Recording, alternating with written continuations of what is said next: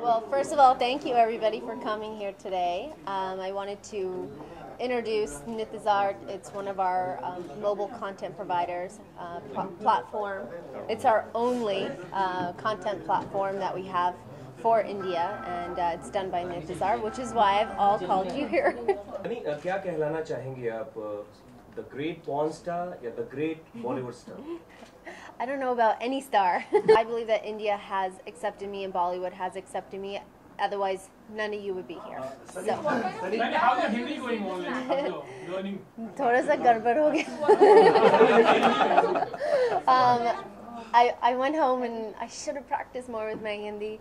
When I'm under like the, these types of situations, my Hindi kind of goes out the door. Um, but if I'm in a calm, relaxed setting, talking, it's, it's a lot easier for me. When I go home, it's all about acting classes. They won't be Bollywood style because it's in LA, but I'll be doing workshops here in India. I'll be doing before Ragini MMS 2.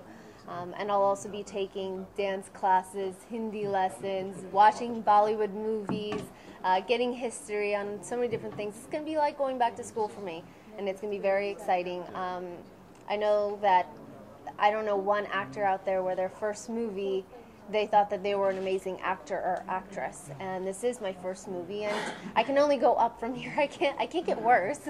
particular person you would like love to work with? Obviously, any, anybody would want to work with Salman Khan.